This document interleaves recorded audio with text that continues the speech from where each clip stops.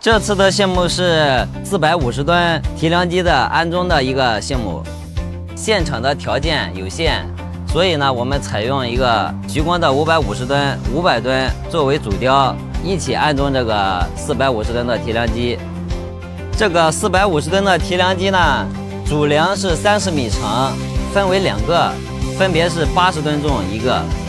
支腿呢是一个四十吨，一个六十吨左右。整体的重量呢，大概在二百六十吨左右，要安装到三十米的高度。时间紧，任务重，四台吊车呢都是提前一天到现场的，大概就是两天左右，准备把这个四百五十吨的提梁机呢全部安装完成。